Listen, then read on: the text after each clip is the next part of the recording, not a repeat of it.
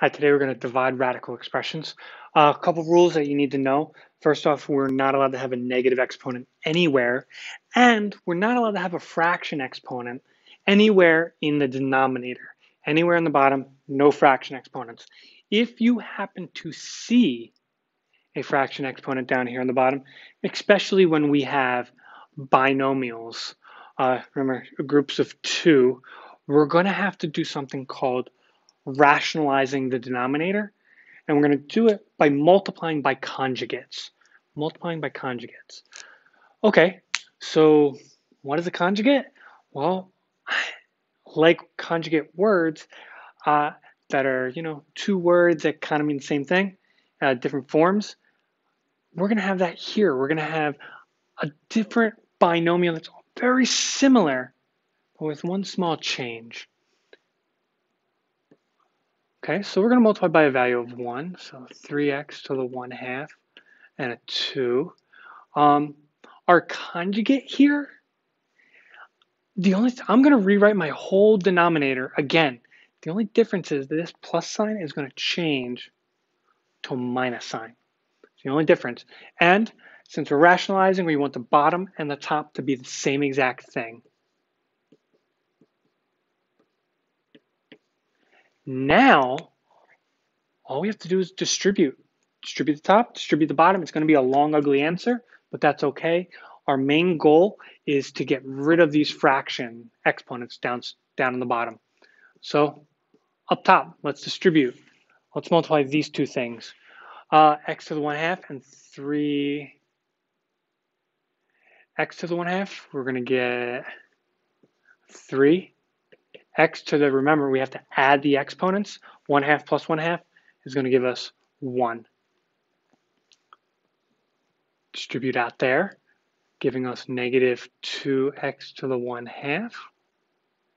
Then we have to start from the inside, distribute those guys, get negative 6x to the 1 half.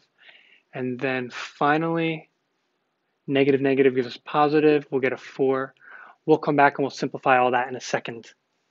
Let's do the same on the bottom. Let's distribute down here. So we'll start off with these. 3 and 3 gives us 9. x to the 1 half, x to the 1 half, add the exponents. 1 half, 1 half gives us 1. Uh, negative 6x to the 1 half. Distribute the 2 now. Positive 6x to the 1 half. Now, why do we do these conjugates? We do the conjugates for that to happen. The fraction exponents disappear here. That's our goal. That's what we wanted to happen. So plus minus helps this part to happen. Okay, let's simplify, see what we can put together. Make this one less ugly answer. Uh, Rewrite, so we have 3x to the first power. Do we need that exponent of 1? No, we do not. Uh, like terms, x to the 1 half, x to the 1 half, that's fine. Uh, negative 8, the numbers in front combine. That variable stays the same. And then bring that 4 over. On the bottom, 9x, we do not need the 1. And then minus 4. Now I said something about having no fraction exponents. Fine as long as they're upstairs, just not downstairs. Big ugly answer, but that's what we do to simplify. Let's try it again. I need to rationalize this denominator, so we're going to multiply by its conjugate. Conjugate is something very similar with one small change. That minus sign turns to a plus. It's always this middle sign that changes. So in order to rationalize, we're going to do the same thing up top. And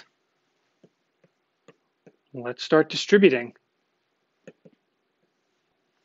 x to the 1 half, x to the 1 half is going to give us x. Add the exponents.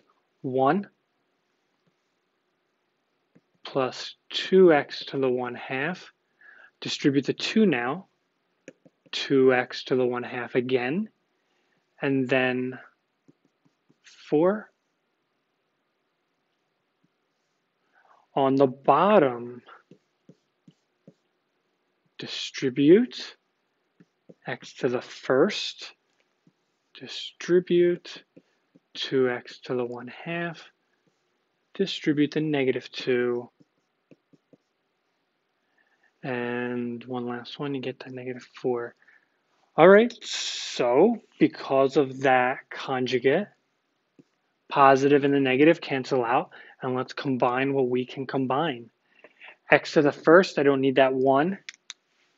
Uh, our variables are the same here, so you're going to have 2 plus 2 gives us 4.